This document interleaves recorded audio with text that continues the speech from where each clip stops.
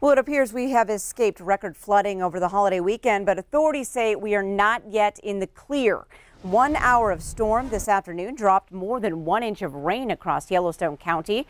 That amount more than doubles the record for today, but not the major event forecasters predicted to push the Yellowstone River to a historic high. Now tonight, a flood warning remains in effect for the Clarks Fork and Yellowstone rivers. Authorities asking residents and onlookers to please stay away from the dangerous water's edge. At this hour, the Yellowstone River is raging at 13 feet 3 inches. Billings National Weather Service says the Yellowstone will likely hit its highest point early Wednesday morning, peaking somewhere around 13.6. That's a much more manageable number than the 16 feet they were preparing for over the weekend. But just because it's better than it could have been does not mean it isn't serious. You know, even if the water went down today, this is a top 10 historic crest on both the Yellowstone and the Clarks Fork of the Yellowstone River. So this, you know, even though we're talking a, a reduction in the threat, this was a significant event for the county. And we just want to say thank you to all the agencies that assisted. Now, the Red Cross shelters in the Billings Heights and in Laurel have been put on standby, but officials say they can open up quickly if needed.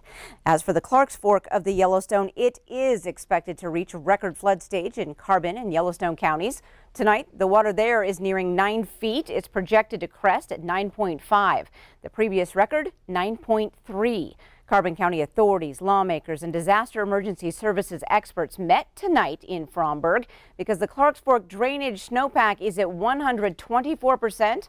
The town of Fromberg is of primary concern as quite a bit of the town is within projected floodplain.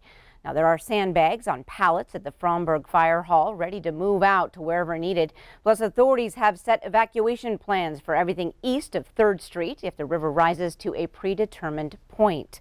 Now, other areas of concern are the sewage lagoons and water intakes of Fromberg, Belfry, Bridger, and Edgar. If evacuations become necessary in Fromberg, the high school gym will become a point of refuge.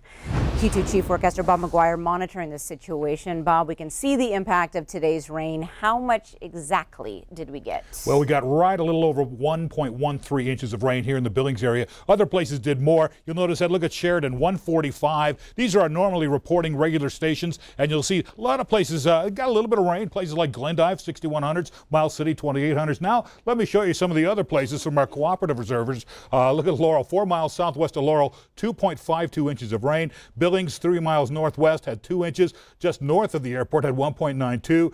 Uh, Baker, two, uh, 2.2 two miles southeast of Baker, had 1.75 inches, and Broadus had 1.70 inches. One of the big things that helped us this weekend was that the storm that came today took a later bus. It came in a day later. That allowed the rivers to drain just a little bit, and so they're not quite as bad as they were if they'd come in on Saturday or Sunday. Know? All right. Thanks so much, Bob.